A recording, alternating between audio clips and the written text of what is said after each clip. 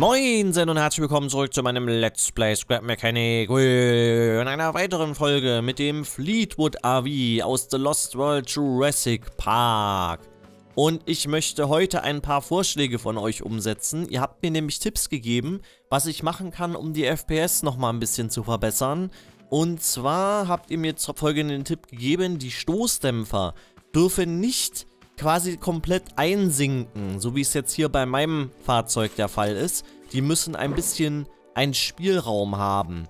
Und das möchte ich jetzt mal gleich versuchen umzusetzen. Und zwar versuche ich denen jetzt mal insofern einen Spielraum zu geben, dass wir denen ein bisschen mehr Widerstandskraft geben. Ich gebe denen mal jetzt eine Widerstandskraft von 6 Einheiten. Ja. Und dann schauen wir mal, ob sich das positiv auswirkt. Da bin ich mal sehr gespannt. Vielleicht hilft das ja was. Das haben einige geschrieben. Zwei von euch haben das genauer gesagt geschrieben. Und jetzt bin ich mal gespannt, ob das was nützt. Und ein anderer Vorschlag, den ich auch noch umsetzen möchte, ist, dass ich die Kopplung zwischen den zwei Fahrzeugen, also hier, dass ich die nicht nur so mit einer B-Ring mache, die nach links und rechts schwenkt, sondern auch mit einer B-Ring, die noch nach, zusätzlich nach oben und unten schwenken kann. Das ist wohl auch ganz wichtig damit das Ganze ein bisschen mehr ja, Spiel hat, damit das Ganze quasi nicht auf dem Boden gepresst wird. So, jetzt aber erstmal hier die Stoßdämpfer einstellen. So, ich glaube, jetzt haben wir sie alle. Ja, jetzt müssten wir sie eigentlich alle haben. So, dann schauen wir uns das doch mal an. Stimmt. Es ist ein bisschen besser. Es ist jetzt nicht perfekt, aber es ist ein bisschen besser. Ja, es ist ein kleines bisschen besser geworden. Man merkt schon, dass es nicht mehr ganz so laggy ist auf jeden Fall. Das ist schon mal gar nicht schlecht. Das ist ein Tipp, der auf jeden Fall funktioniert hat. Vielleicht holen wir ja die letzten bisschen ein paar FPS noch raus, indem wir jetzt hier entsprechend dieses Teil einfügen, diese Kopplung nochmal verändern. Und da bin ich jetzt mal sehr gespannt. Ich muss nur gucken, dass das dann auch alles wieder zusammenpasst. Sollte ich ein bisschen nasal klingen, das liegt daran, dass ich gerade aufgestanden bin. Also nicht wundern, ich bin nicht irgendwie krank oder so. Ich muss Scrap Mechanic jetzt immer direkt nach dem Aufnehmen, äh, nach dem Aufnehmen, nach dem Aufstehen aufnehmen, so rum. Weil ich das sonst nicht schaffen würde mit dem ganzen, ja, Aufnahmen und so. Deswegen könnte es sein, dass ich ein bisschen sehr nasal klinge, wenn ich jetzt hier so spreche. Und, äh, ja. So ist das. So ist das. Also, B-Ring drauf. So, dann setzen wir die B-Ring, die ich jetzt hier schon hatte, die setze ich mal hier hin. Also den, den, das Rohr, die Rohrverbindung. So, jetzt nehme ich das mal kurz auf dem Lift hier. Und hoffe mal, dass sich das Ganze jetzt noch verschweißen lässt.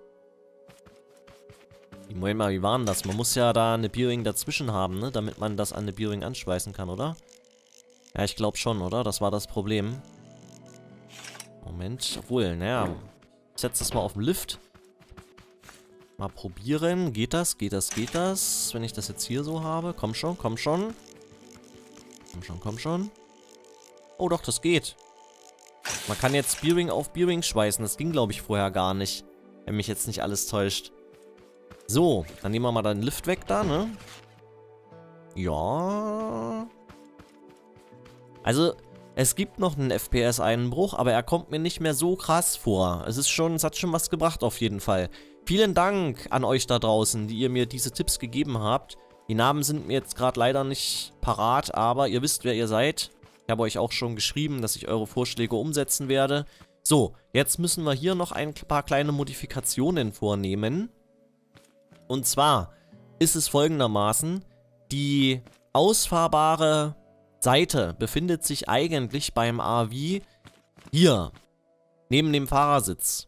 Das lässt sich allerdings sehr schwer realisieren, weil hier ist eben, wie gesagt, der Fahrersitz. Das heißt, das werde ich jetzt so nicht umsetzen, wie es im Original ist, weil hier einfach nicht genug Platz ist mit dem Fahrersitz und allem, weil hier soll ja noch das Ganze, hier soll ja noch ein richtiges Lenkrad und so richtig hingebaut werden und das Cockpit soll ausgestaltet werden. Deswegen halte ich das für keine gute Idee, jetzt hier diese ausfahrbare Klappe umzuplatzieren.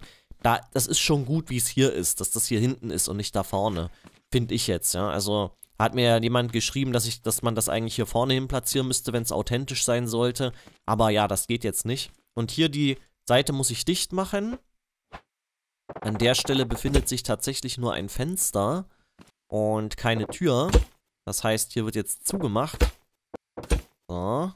Jetzt kommen quasi so ein bisschen die Feinheiten. Und dann kommt auch die Innenraumgestaltung. Die dürfen wir ja auch nicht vergessen. So, dann machen wir das mal hier zu. Und wie gesagt, ich bin nasal, weil ich gerade aufgestanden bin. Muss ich nochmal erklären. Weil ich klinge jetzt doch schon, ich, ich höre es selber, wie ich nasal klinge. Und man könnte fast annehmen, ich wäre krank oder so. Aber mir geht es gut, ich bin nicht krank. So, dann ziehen wir mal hier durch. So. Und genau, da haben wir das schon mal. Da werde ich jetzt gleich noch das Fenster auffüllen, so wie es hier ist. Moment mal, ich habe hier irgendwie zu viel Blöcke reingesetzt, kann das sein? Gegenüber. Ja, hier wartet mal, die Reihe, die muss weg. Und die Reihe muss auch weg. So. Jetzt würde ich sagen, nehme ich mir mal die Fensterbauteile zur Hand. Was ist das hier eigentlich? Warehouse Door. Okay. Auch interessant. Ich muss auch eigentlich mal mehr mit den Mod-Gebäudeteilen machen.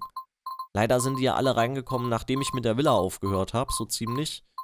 Und äh, jetzt, ähm, ja, mit der Villa werde ich vielleicht auch mal weitermachen demnächst. Mal gucken.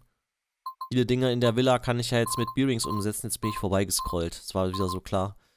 So, gib mir das und gib mir das und gib mir das. Und jetzt machen wir das hier mal. Ball. Hm. Ah, hier muss man mal so ein bisschen gucken, wie, dies, wie sich diese blöden Eckteile eindrehen lassen. Also wie gesagt, einige haben ja auch immer schon gefragt, wann geht's weiter mit der Villa. Und wie gesagt, ich will mich da gar nicht so festlegen, wann es da weitergeht. Ich will mich aber insofern festlegen, dass ich sage, da geht's vielleicht auch mal weiter. vielleicht ist auch geil, dass ich mich da festlege auf einen vielleicht. Denn jetzt stehen ja erstmal die ganzen Jurassic Park Nachbauten an. Die will ich jetzt erstmal durchziehen in einem Rutsch. Danach, weiß ich noch nicht genau, da mache ich vielleicht nochmal mit dem Zugprojekt weiter. Vielleicht sind bis dahin auch nochmal Performance-Patches gekommen in Scrap Mechanic. Das wird sich ja jetzt doch noch ein paar Wochen hinziehen, bis ich hier weiterkomme. Und danach, ja, hoffe ich ja eigentlich, dass dann mal der Survival-Modus endlich mal kommt. Das wäre ja mal ein ziemlicher Burner, wenn der endlich mal rauskommen würde. Wäre langsam mal an der Zeit, muss ich sagen. Also ich würde das feiern, wenn der Survival-Modus noch dieses Jahr rauskommen würde. Aber irgendwie habe ich da immer noch meine Zweifel. Mein Herz sagt, der Survival-Modus kommt. Mein Verstand sagt, das wird sich noch ewig hinziehen. Eher kommt Daisy aus der Early Access Phase raus, als dass dieser Survival-Modus für Scrap Mechanic kommt, glaube ich. Ja, aber ich habe ja schon mich aufgeregt in der letzten Folge. Ich will mich jetzt nicht schon wieder aufregen. Ja, das muss nicht sein. Da muss ich nicht ständig aufregen. Ja. Aber wie gesagt, da spekuliere ich eigentlich so ein bisschen drauf, dass ich dann jetzt auch irgendwann mal mit dem Survival-Modus mal weitermachen kann. Das wäre mal eigentlich ganz nice.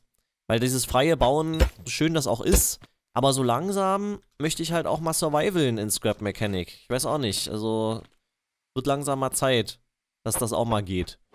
Ja, weil ich glaube schon, dass der Survival-Modus, den die sich da ausdenken, dass der ziemlich cool wird. Aber, ja, dauert halt einfach so lange, ne? Aber wie gesagt, ich will nicht renten oder so. Das will ich nicht. So, komm schon, dreh dich ein. So. Ah nein, so nicht. Komm schon.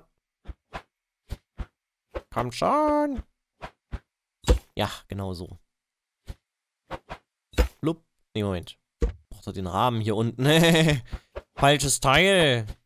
Oh, diese Fensterkonstruktion.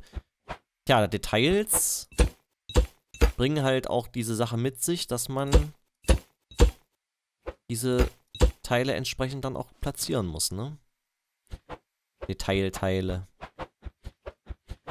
Gott, dieses Eindrehen immer. Dass es, dass es da keine Snap-Funktion gibt, dass das nicht einfach an dem oberen Rahmen direkt ran snappt. Das ist so. Bei Arc snappt das ja alles direkt aneinander. Manchmal ist das auch nicht so förderlich beim Bauen. Aber das System wurde ja jetzt mittlerweile schon überarbeitet, dass es besser funktioniert. Aber bei Scrap Mechanic snappt halt gar nichts. Ne? Das ist ein bisschen, bisschen schade. Aber wie gesagt, ich will nicht schon wieder meckern.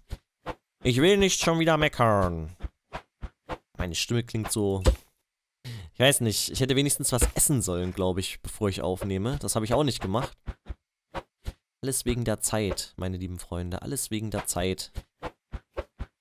Zeit ist das Problem. Komm schon. Ja, weil viele sagen ja dann auch immer, mach doch mal weiter mit der Villa, mach doch mal weiter mit dem und dem Projekt, mit dem Zug, hast du nicht gesehen. Und wann kommt mal ein Community-Projekt? Ah, das sind alles tolle Ideen, tolle Sachen, kann man auch alles irgendwie mal machen, bloß man braucht die Zeit dazu. Das ist das Problem. Da ist es das einzigste Problem. Das einzige Problem. Zeit. Wenn ich unendlich viel Zeit hätte, dann könnte ich auch alles gleichzeitig machen. Oder wenn es zwei von mir gäbe, könnte ich auch mehrere Projekte gleichzeitig umsetzen. Aber so geht das leider nicht. So. Halt. Lup. Lup. Lup. Und. Lup. Ihr seht schon, ich mache jetzt wirklich hier alles fertig. Den Innenraum. Und die Fenster. Und dann auch noch die Verzierungen außen, weil da haben wir ja auch noch einiges zu bauen.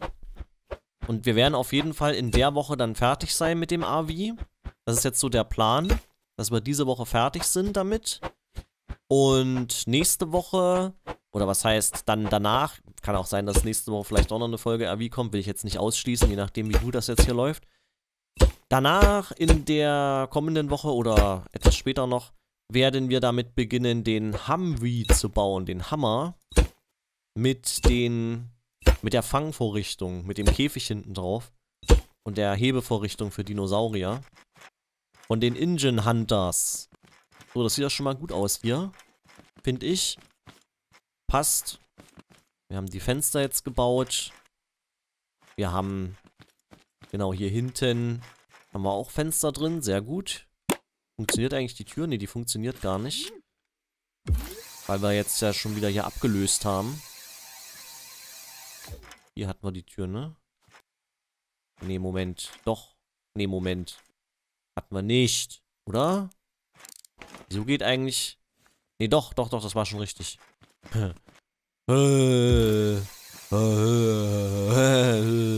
Ihr merkt doch schon, mein Kopf ist noch nicht so ganz da. Ja, da ist noch ein bisschen, der steckt noch ein bisschen in der Bettdecke fest. so. Ja, das ist wieder typisch. Ah ja, okay, wir müssen in die Richtung drehen. Sehr gut. So, jetzt kann man die hintere Tür auch öffnen. Sehr schön, sehr schön, sehr schön, sehr schön. Ah ja, hier müssen wir auch noch was einfärben. Siehst du mal, siehst du mal, siehst du mal. Die Röhrchen. Die wollen noch eingefärbt werden. So, und obendrauf müssen wir auch noch diesen ja, diesen erhabenen Balken noch draufsetzen. Fällt mir noch auf. Der fehlt noch. So.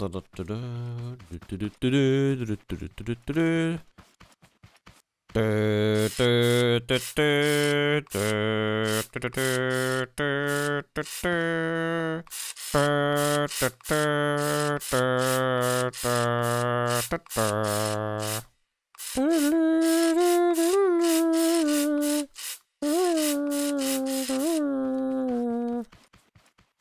jetzt muss ich mal gucken, dass ich da irgendwie hochkomme. Dann können wir nämlich hier den Teil auch noch mal ein bisschen weiterziehen. Kam ich mal hoch mit dem Left.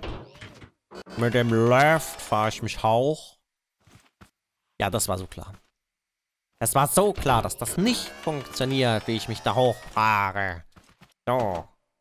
Okay. Also, ich ziehe das jetzt hier einfach mal so und so nach vorne. Jetzt bin ich mir, ich habe gerade meine Referenz nicht offen, weil das alles so schnell gehen musste hier mit der Aufnahme, dass ich die gerade nicht auf habe. Deswegen ziehe ich das jetzt hier einfach mal, so wie es hier jetzt ist, nach hinten durch. Einfach nur, ohne Rücksicht auf Verluste. Eventuelle Korrekturen mache ich dann einfach in der nächsten Folge. Ich werde zwischen dieser Folge und der nächsten eine kleine Aufnahmepause machen. Mich einfach mal ein bisschen frisch machen zum Beispiel auch. Das wäre auch mal eine gute Idee. Und dann, äh, ja, da müsste das alles passen. Aber jetzt ziehe ich das erstmal so durch hier. Genau. Es gab ja auch noch hier vorne Röhrchen. Und da muss ich jetzt mal gucken, wie war das eigentlich genau? Ah, nein. ähm, das war auf jeden Fall, Moment. Die fingen irgendwie hinten an. Ich muss mir jetzt mal meine ganzen Röhrchen, die ich hier habe, die muss ich mir jetzt alle mal ins Inventar ziehen. Und mit denen will ich dann Ah, guck mal, das gibt's auch. Es gibt so diese Doppelröhrchen. Hm, das ist sogar genauso, wie es im Film ist. Da sind nämlich zwei Röhrchen übereinander. Hm, ich würde sagen, wir bauen das einfach mal so. Mit den zwei Röhrchen. Und da musste ich aufstoßen. das ist schon so eine Sache, wenn man das alles so macht, wenn man noch nicht äh, wach ist so richtig. Ich stelle mich mal hier drauf. So, fahr mich mal hoch. Und dann bringen wir mal hier genau diese Röhrchen an. Das ist im Film genau so. Kann ich eigentlich auch von vorne weitermachen. Da gibt es so eine Röhrenreihe. Der Trick ist jetzt aber, der verläuft eigentlich, also im Film, in der Filmversion, so ein bisschen jetzt hier oben drüber. Und das geht jetzt hier nicht, das kann man hier nicht machen, weil, ja, ihr seht ja, bei den Zweierrohren gibt es jetzt keine Variante, die einfach nur nach oben weggeht oder so schräg nach oben weggeht, dass die Röhre, dass die Rohre weitergefahren werden können hier so schräg rüber. Das geht nur mit der Einzelvariante, deswegen mache ich hier jetzt mal einen kleinen Trick. Kann man das nicht andersrum snappen? Oh Mann, wieso geht das denn jetzt wieder nicht hier? Das ist auch wieder so dumm. Warum kann ich denn jetzt nicht die Zweierseite an die Zweierseite ran snappen? Ah, Mann. Es ist so nervig manchmal. Es ist einfach nur so nervig. Okay, Moment. Wie machen wir das jetzt? Was ist das eigentlich? Large Pipe Tip? Hm. Weil ich möchte jetzt eigentlich gerne die normalen Pipes nehmen. Die hier. Ah, das sind ja schon die normalen. Und dann möchte ich diese Kurve hier nehmen. Und möchte damit eigentlich so jetzt dann nach oben gehen und dann einfach so hier rüber. Okay, so, so geht das schon mal nicht, weil es muss weiter nach vorne. Würde es ja aber, wenn hier halt dieses Teil noch dazwischen gehen würde. Warum kann man das denn nicht? Warte mal. Ich weiß schon, wie ich das mache. Ich brauche nochmal normale Blöcke jetzt. Ähm, wo sind sie? Wo bin ich jetzt nehmen wir Nehmen wir mal den Lift weg. so, dann... Genau, so machen wir das jetzt. Und wenn ich das weglösche, müsste es trotzdem genau... Trick 17 hier. So. So, und jetzt kann ich da jetzt rübergehen. Ne, geht nicht, weil jetzt hier natürlich blockiert ist. Aber wir können so ein Ding noch setzen. Ja, das ist jetzt zu hoch. Wartet mal. Machen wir es doch etwas weiter noch nach hinten. Mit dieser Vorrichtung gehen wir jetzt einfach so. Und dann machen wir das Ganze einfach nochmal. Eins nach oben. Zur Seite. Genau, und dann können wir es nämlich wieder so spreizen und einfach nach drüben ziehen. Wunderschön. Hier müssen wir wieder die Zusammenführung bauen, aber es geht wieder nicht. okay, da muss ich dann von hinten einfach weiter wieder nach vorne ziehen, die Rohre. Okay, aber ich würde sagen, an dieser Stelle ist jetzt erstmal... Oh, das sieht irgendwie doof aus. Ich glaube, das lasse ich lieber weg. Ich glaube, ich gehe da lieber vorne dann mit so. Mit so einer Biegung hier einfach vorne rein. Ich glaube, das passt besser. An der Stelle ist auf jeden Fall wieder die Folge zu Ende. Wir sehen uns wieder in der nächsten Folge Scrap Mechanic mit dem Fleetwood AV aus der Lost World Jurassic Park. Bis dann, ciao, ciao!